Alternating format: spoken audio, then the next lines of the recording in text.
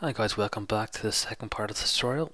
If you remember the last time you left off just here that the buttons worked but they weren't doing anything. That's because we haven't used the main part of the method which is the did select row at index path which is here. So we have to tell this now what's going to happen when this cell is pressed. Okay, first of all, this blue thing highlight will not go away unless we tell it to go away after a cell has been pressed. That's done with this little method. Self dot table view deselect row at index path index path animated yes. So that means after button's pressed it'll highlight for a second and then it'll deselect once it does something important. Now next thing we have to do is make a view to handle this action.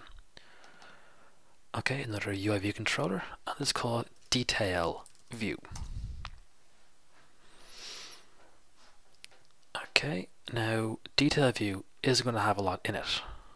All we need is an NS string called the title, and then a property contain NS string called the title. Now the reason it's going to be a property is because we want to have access to this in a different file. So into the M file and synthesize the title. Delete this init method, we're not using it. Same for view did load and memory warning. We won't get any this time around, hopefully.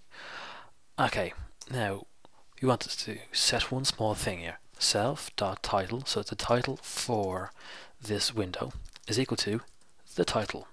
Now the title is an empty NS string at the moment. We're going to fill that title with a property from another class. So back to your root view M and the very top import the detail view because we'll access this now in our class in our method down here so at this select row index path, want to make a instance of detail view. So detail view, called new view equals detail view alloc init.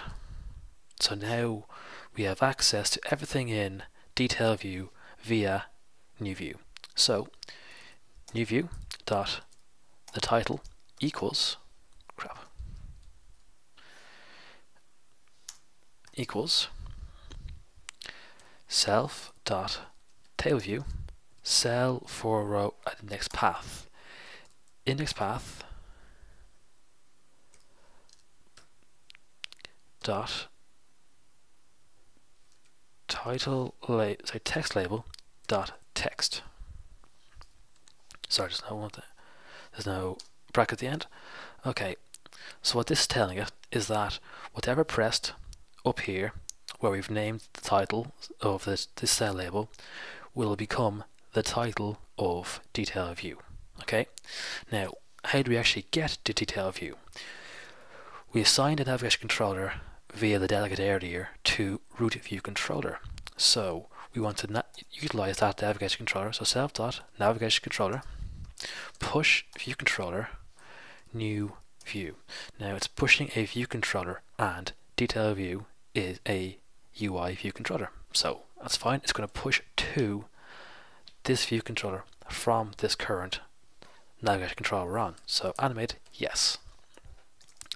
And of course at the end, new view release because it's an instance variable.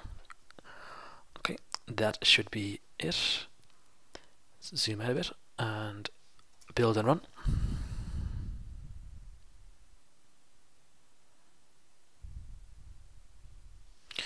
Okay, and press one. There we go.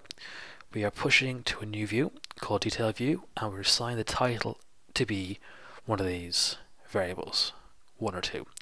Now I know it's a very simple example, but it's a nice way of learning how to do these things from the ground up. If you want to change the array, just simply add three, four, and the comma, don't forget, rerun, So as you can see, this is a very basic tutorial on how to push a data type to a new view. My next um, tutorials and the ones that will follow that will be a bit more detailed. They'll be pushing um, images from uh, data from data storage and there'll be an MVC um, example. So it'll be a model view controller example. So rather than just passing details from view controller to view controller, it'll show you how it'll be putting the data into one external uh, model class and then the controller will be taking data from one view and placing in the other rather than passing directly from the um, view controller to view controller. So it'll show you how to set them up the proper way, which will be a lot more beneficial in the long run. But as I said, the the last two are very basic. The next few will be getting more and more advanced and hopefully be a lot more helpful to you. Alright folks, take it easy.